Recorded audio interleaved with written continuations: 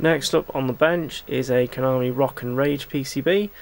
Um, currently appears to be missing green colour. Um, other than that, seems to power up. Won't start a two-player game, so it looks like one of the, the uh, optos on the inputs are not working. Uh, it's actually playing, sounds working. Uh, there's a dodgy sort of fly leaded volume control there that needs replacing. So I'm going to look at the Optos, have a look at the Konami custom, see if we can fix the colour and control problems. Okay, I've removed the Konami custom from here, which contains, uh, it's like an RGB, RGB pack, um, and it's got two RAMs on the back. Uh, this is the one I've just removed that seems to have missing green, and this is one from another board.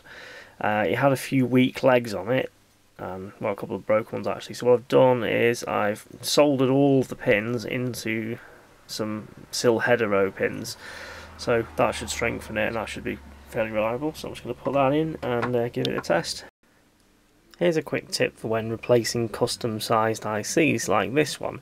Uh, you use SIL header strips, put them into the PCB and then get another pair of SIL headers and basically fit them into the top of the pins like so.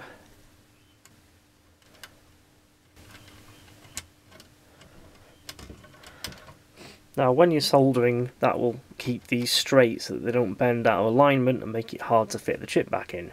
Afterwards obviously remove these and put the chip in. That's the replacement custom fitted and nice coloured game now. So that's one problem fixed. Okay, I've replaced the bad opto coupler there. Uh, I just need to replace this horrible bodge wire that someone's put on here. Don't like that at all. Uh, and then replace the volume control, and then that should be everything done. Okay, the repairs are now finished. I've replaced the volume control with an identical one. I've replaced that nasty bodge wire with a neatly done nylon wire. Uh, we've already done the opto and we've done the RGB custom pack as well. So let's just check everything's okay.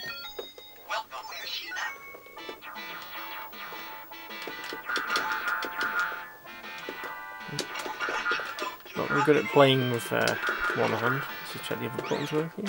Yep. Okay, that's a successful repair.